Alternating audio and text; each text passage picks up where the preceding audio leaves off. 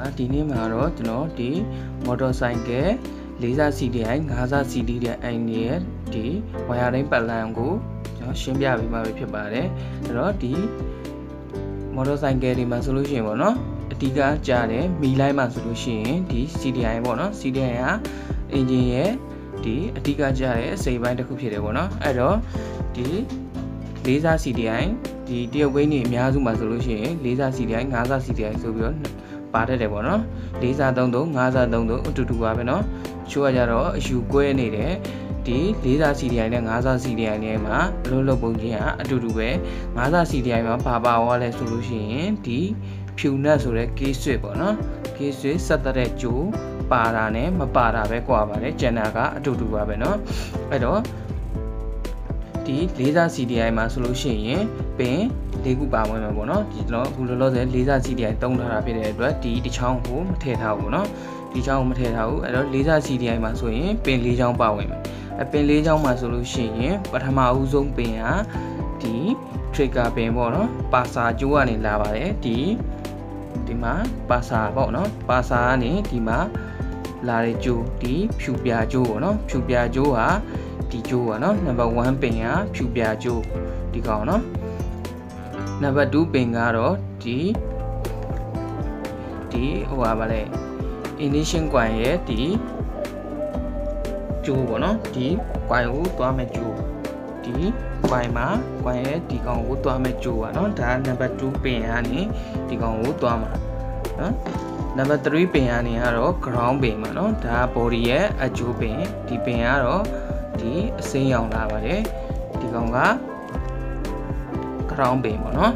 ဒါအကျိုးပါဒီကောင်ကတော့နတ်ဝါနဲ့လာပါတယ်အနက်ရောင်ရဲ့အဝိုင်ရောင်လေးနဲ့ရောထားတဲ့ချောင်းကျိုးပေါ့နော်ဒါနတ်ဝါကျိုးဒီနံပါတ်နံပါတ်4ပင်ကပေါ့နော် case switch ဖြူနက်လာပါတယ်ဒီကောင်ကတော့ဒါနမူနာယူပြထားတာဖြစ်တဲ့အတွက်ဒီဟာ spare ဘတ်ပေါ့နော်သူ့ရဲ့ original ကျိုးမှာဆိုလို့ရှိရင် case switch ကအဖြူရောင်ရဲ့အနက်ရောင်ရဲ့ရောထားတဲ့ကျိုးပေါ့နော်ဖြူနက်ကျိုးလာပါတယ်နံပါတ်5ပင်မှာဆိုလို့ရှိရင်တော့ဒီကောင်ပေါ့နော်နံပါတ်5ကတော့နံပါတ်5ကတော့ AC တို့မဟုတ် DC ဝင်ပါတယ်သူကဒီ coin ကနေကျွန်တော်တို့6ထုတ် coin ရှိပေါ့နော်6ထုတ် coin ကနေတက်လာတဲ့ကျိုးအနက်နီနက်ပေါ့နော်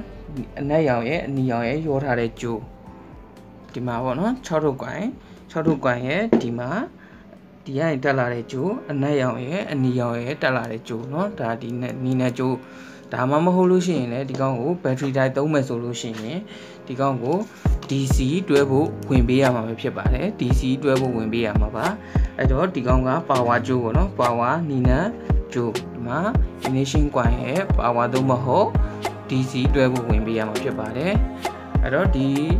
နမူနာလေးကိုပြပြီးပြီဆိုတော့ဒီကောင်ရဲ့ wire တွေပတ်လန်းကိုကျွန်တော်ဆက်သွယ်ပြီးပြမှာပါနော်နံပါတ်1ပင်ဆိုတော့နံပါတ်1ပင်ကဒီမှာပါစာကျိုးเนาะပါစာကျိုးဆိုတော့ဒီမှာပါစာပါတယ်ဒီကောင်မှာဆိုလို့ရှိရင်ဒါက ground ပါเนาะဒါအကျိုးပါဒါအကျိုးဒါကပါစာအဝင်ပေါ့เนาะဒါက power ဝင်တဲ့ကျိုးပါအဲ့တော့ဒီကောင်ကိုအရင်ဆုံး join ပေးတာဒါကနံပါတ်1ပင် နံပါတ်2ပင်ကဒီမှာကွိုင်ကိုသွားတဲ့ဂျိုးပါနော်ကွိုင်ကိုသွားတဲ့ဂျိုးဆိုတော့ဒီကောင်ပေါ့နော်ဒီမှာ initiation ကွိုင်ရဲ့ဒီမှာဒီငုတ်ကလေးပေါ့နော်ဒီငုတ်ကလေးကိုစက်ကမဲ့ဂျိုးပါဒါကအဲ့တော့ဒီမှာစက်လိုက်ဒါဆိုတော့ဒီတစ်ခုရပြီနော်နောက်ပြီးကြတော့ဒီကောင်က power ဂျိုးဒါကခဏထားမယ်ဒီကောင်က ground ဂျိုး ground ဂျိုးဖြစ်တဲ့အတွက်ဒီကောင်မှာ ground ကဒီကောင်မှာလည်းပါတယ်ဒီကောင်မှာလည်းပါတယ်ဆိုတော့ body မှာ join ပေးရမယ်အဲ့တော့ဒီကောင်ကိုအရင်ဆုံး join လိုက်မယ်ဟောဒီပလက်မှာလဲသူက ground အပ်ကြတယ်ပေါ့နော်ဒီက body နဲ့ထိမှာဖြစ်တဲ့အတွက်ဒီကောင်ကိုလည်း ground အပ်မယ်ဒီကနေလာတဲ့ကြိုးကဒီမှာပေါ့နော်ဒါကဒီလိုသွားမယ် ဒါဆိုရင်ဒီဒီရပြီပေါ့နော်အဲ့ဒါပြီးတော့ဒီကောင်နဲ့ဒီကောင်နဲ့ ground အကအောင်မှာပေါ့နော်ဒီကောင်ဟိုအတွက်ဒီမှာ ground ပေါ့နော်ဒီကောင် ground ပြီးရင်ဒီကောင် ground ပေါ့နော်ဒီမှာဒီလိုသွားမှာက သွားပြီးပြီဆိုလို့ရှိရင်ဒီကောင်ကဒီကောင်က DC ဝင်မယ်အခုလောလောဆယ်တော့ကျွန်တော်ကဒီ battery နဲ့စမ်းပြမှာဖြစ်တယ်เนาะအဲ့တော့ဒီကောင်ကိုတွဲဖို့ DC ဝင်မယ်ဒီကောင်ကိုအနှုတ်ဝင်မယ်ဒီကောင်အပေါင်းဝင်မယ်ပေါ့နော်အဲ့ နော်ဒီမှာဒါကအနှုတ်ဒါအနှုတ်နော်အနှုတ်ပြီးတော့ဒီမှာဒါကအပေါင်းအပေါင်းဆိုတော့ဒီကောင်ကိုသွားပါမယ်နော်ပေါင်းဒါဆိုရင်ဒါဆိုရင်တော့သူ့ရဲ့ wiring ကဆက်သွယ်မှုပြီးပြီပေါ့နော်အဲဆိုလို့ရှိရင်ကျွန်တော်ဒီကောင်ကိုစမ်းပြအဲ့တော့ဒီပါစာမှာဒီမှာဟိုဟာဒီတန်လိုက်က တန်လိုက်တုံးမှာပါတယ်ဒီကောင်ရဲ့အမှတ်ကလေးကိုဒီကောင်က timing ကောက်တဲ့အခါ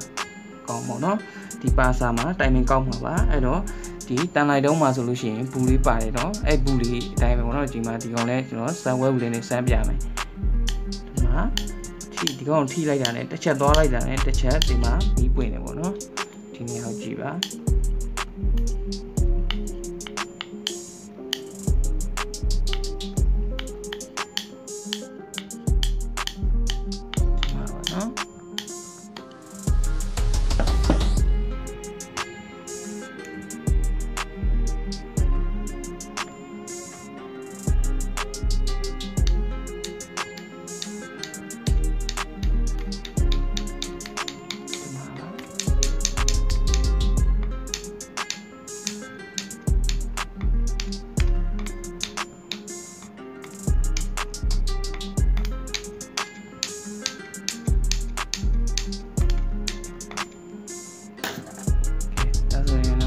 ဆင်ပြေသွားပါပြီအားလုံးကိုကျေးဇူးတင်ပါတယ်